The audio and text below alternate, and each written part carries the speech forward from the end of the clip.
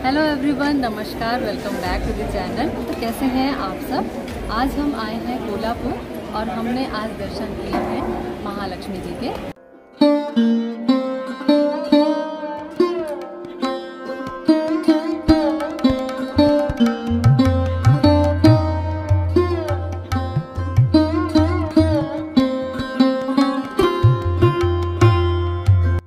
हिंदू पुराणों में बताए गए शक्तिपीठों में से एक है।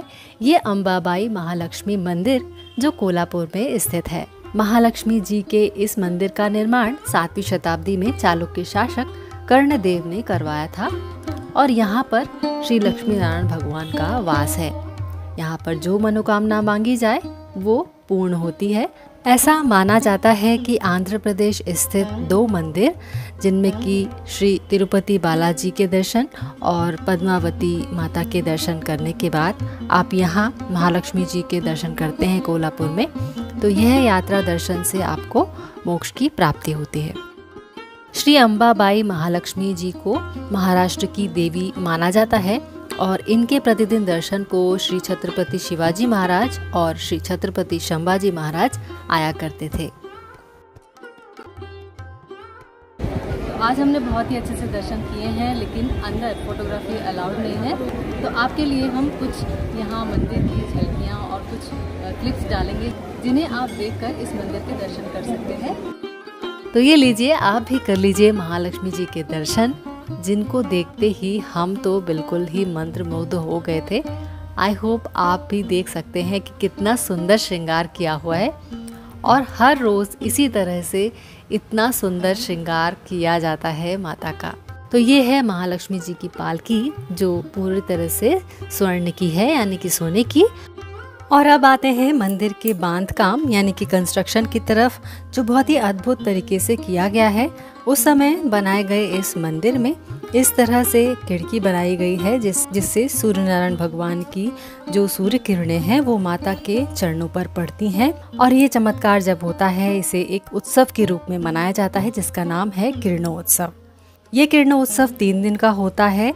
इन तीन दिनों में जो पहला दिन होता है, इसमें सूर्य नारायण भगवान की सूर्य किरणें माता के चरणों पर पड़ती हैं। और दूसरे दिन माता के मध्य भाग में सूर्य किरणें पड़ती हैं और तीसरा दिन जो देखने वाला होता है, जब माता के मुख पर सूर्य किरणें पड़ती हैं और ये सब होता है सूर्यास्त के समय।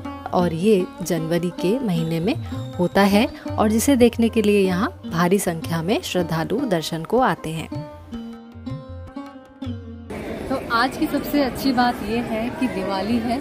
और दिवाली में हमने, और दिवाली के इस पावन अवसर पर हमने महालक्ष्मी जी के दर्शन किए। ये हमारा सौभाग्य ही है कि आज हम उनके दर्शन पा सके। मंदिर का प्रांगण काफ़ी बड़ा है और यहाँ पर बहुत सारी दुकानें भी हैं जहाँ से आप पूजा की सामग्री और कई अलग तरह की चीज़ें जैसे कि यहाँ की मराठी परंपरा की जो मालाएँ होती हैं, चोकर और कोल्हापुरी साज, ये सब भी यहाँ मिल जाता है। तो ये भी आप एज अ मेमोरी लेकर जा सकते हैं। इसके साथ ही मंदिर के बाहर भी बहुत बड़ा मार्केट है, जहाँ से आप यहाँ की जो फ़ेमस चीज़ है, कोल्हापुरी चप्पल, वो भी ले सकते हैं।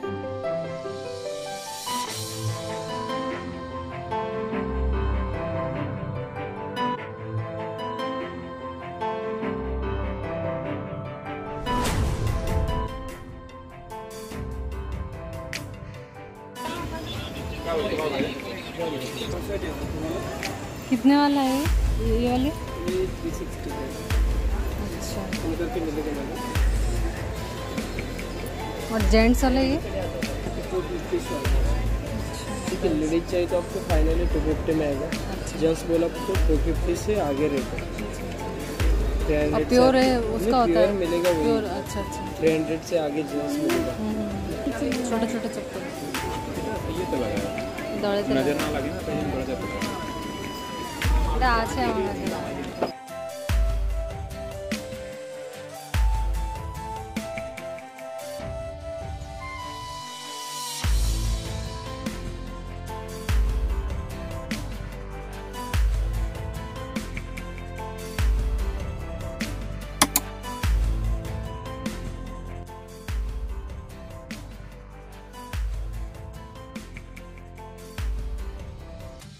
आज का ये ब्लॉग आपको कैसा लगा, मुझे कमेंट करके ज़रूर बताइएगा। मिलते हैं अपने नेक्स्ट वीडियो में, तब तक के लिए stay fit stay healthy and bye